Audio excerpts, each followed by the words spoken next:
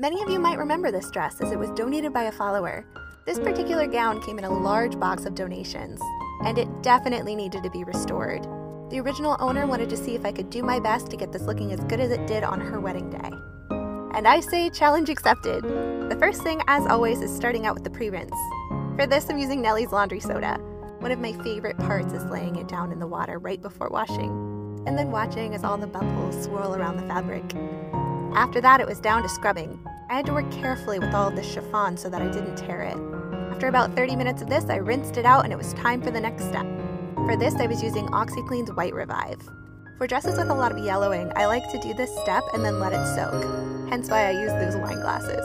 And here's the final result. Isn't she lovely?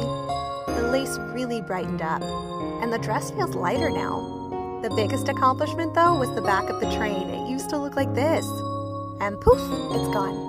What do you think of this one?